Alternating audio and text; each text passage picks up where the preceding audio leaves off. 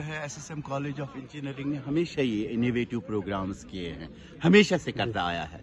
So this has been our brand institution in the whole valley in the whole valley and then this message should go on to the whole valley also that this institution continues to organise such programmes innovative programmes so innovation का जो आजकल जो है it has such a great importance which i cannot explain in so much but this institution has been organizing these great programs. And then I have been seeing that many institutions have joined us. And then institutional students from um, all across the India have joined. See the importance of this program and then see the uh, importance of this institution which is organizing. We at NIT Srinagar, uh, sometimes uh, it, it's very difficult to organize such programs, bringing students from other parts of the country, even from the other parts of the valley.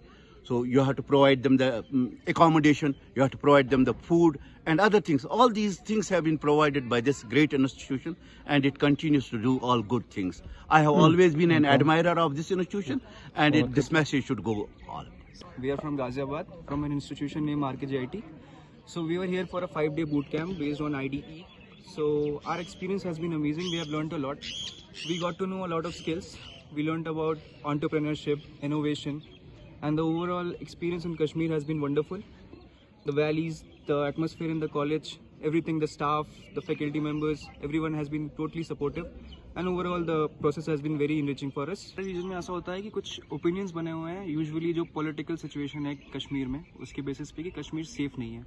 But हमारी भी family की तरफ़ से ये था कि कश्मीर में आप जा रहे हो क्या पता सेफ़ होना हो। बट हम जब कश्मीर विज़िट किया कैंपस पूरी तरीके से सेफ़ है। लोग बहुत फ्रेंडली हैं। तो ये थॉट रखना अपने दिमाग में कि कश्मीर बाहर के बच्चों के लिए सेफ़ नहीं है। और यहाँ पर बाहर के बच्चे विज़िट करके कुछ सीख नहीं सकते हैं, ये बेहद गलत है योर थॉट को हमें निकाल देना चाहिए दिमाग से। Maharashtra Nutan College of Engineering and Research Pune से आए हैं हम। इधर एसएसएम कॉलेज ऑफ़ इंजीनियरिंग में आए हैं कश्मीर में। तो हमारा बुट कैंप था, हमारा सिलेक्शन एस आई एस के थ्रू हुआ था। तो हमारा बुट कैंप था एसएसएम कॉलेज में, कश्मीर में।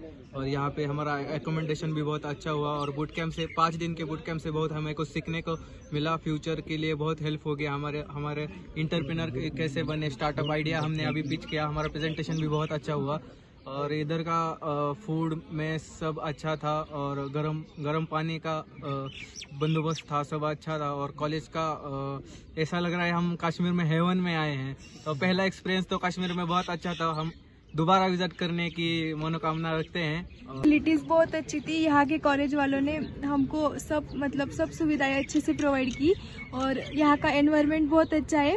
और हम यहाँ आने की मतलब हम हम दोबारा। दोबारा हम यहाँ ज़रूर आएँगे। रहा हमारा मतलब बाहर राज्यों में एक गलत फहमी है कि कश्मीर सेफ़ नहीं है जम्मू एंड कश्मीर सेफ़ नहीं है। पर हमने जो फील किया है कि हमें नहीं लगा कि सेफ़ नहीं है। बहुत अच्छा प्लेस है नेचर के बहुत क्लोज है कॉलेज एरिया भी अच्छा है। हमने एनआईटी भी विज़िट किया एनआईटी का प्लेस भी अच्छा है सेफ़ है। क्योंकि हमारे इधर क्या होता है कि एक गलत फहमी है कि वो सेफ़ नहीं है।